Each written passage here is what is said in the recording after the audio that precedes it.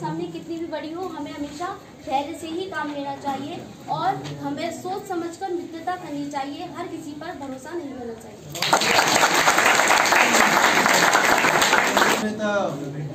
तो ट्रेन जा रहे हैं हमें जाना है मुंबई। वो मिल गया है आगरे में। दोस्ती हो गई जो दे रहा है वो खा हमारा ग्रुप नंबर है फोर ये कहानी है मानव और प्रकृति के दोस्ती और उनके निस्वार्थ प्रेम की। इस कहानी में एक छोटा सा बालक होता है, जिसकी पूरी ज़िंदगी को प्रकृति से अटैच करके दिखाया गया है। इसमें सबसे पहले बच्चा होता है, ये एक बालक है। ये जब स्कूल जाता है, स्कूल से वापस आता है, अपने जब भी फ्री होता है टाइम में तो वो ज़रूर इस पेड़ से मिलने के लिए आता है। इस पेड़ के साथ खेलता है, इससे बातें करता है, बहुत खुश रहता है। इसके साथ बैठ के झील जो बह रही होती है, उसके चमचमाते हुए पानी को देखता है तो डूबते हुए सूरज को देखता है और बहुत खुश होता है। पेड़ के साथ इसकी बहुत गहरी दोस्ती हो जाती है। साथ में दोनों खेलते हैं, रोज स्कूल से आता है, देखता है खेलता है बालक पेड़ पौधे के साथ में।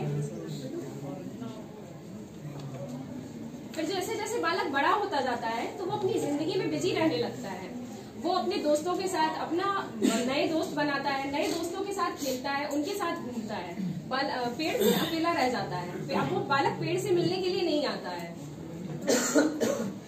फिर एक दिन आता है बड़ा हो जाता है बालक तो आता है उसके पास पैसे नहीं होते हैं कि वो आगे अपनी पढ़ाई कर सक कर सके कहीं दूर बाहर घूमने जा सके।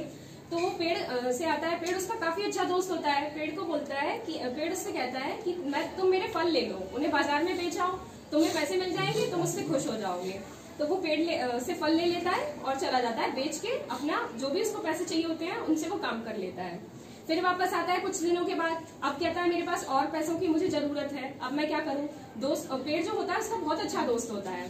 पेड़ कहता है तुम मेरी लकड़ियाँ काट लो उनको ले जाओ उनसे कुछ काम कर लो उन और पैसे कमा लो अपनी इच्छाओं को मत मारो।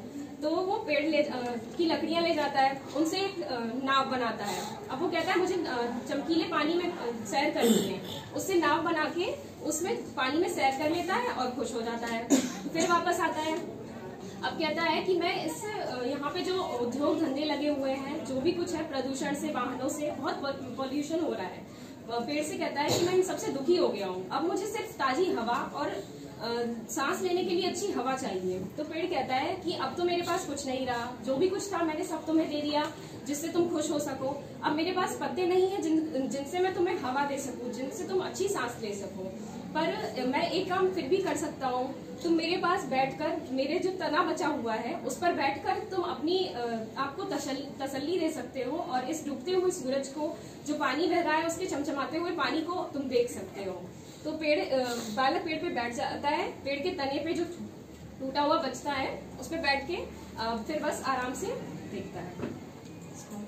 फिर से शिक्षा में यही मिलती है कि हम अपनी ज़िंदगी भर तो अपनी जरूरतों के लिए, अपनी आवश्यकताओं के लिए पेड़ों को काटते रहते हैं, उनसे अपने उद्योग धंधे लगाते हैं, अपना घर बनाते हैं, सब कुछ करते हैं, उनसे अपनी जरूरतों के लिए सब सामान उनसे ले लेते हैं। फिर जब लास्ट में हमारी ज़िंदगी में कुछ नहीं बचता है सिर्फ़ हमें ताजी हवा की ज़रूरत होती है, तब हम, तब पेड़ को देने के लिए हमारे पास कुछ नहीं होता है। लेकिन फिर भी जब उसने पेड़ ने उसको सपोर्ट किया, अपने तने पे उसको बिठाया, उसको रिलैक्स किया। यही हमें इससे शिक्षा मिलती है कि मतलब उसको प्रकृति को दूषित नहीं करना चाहिए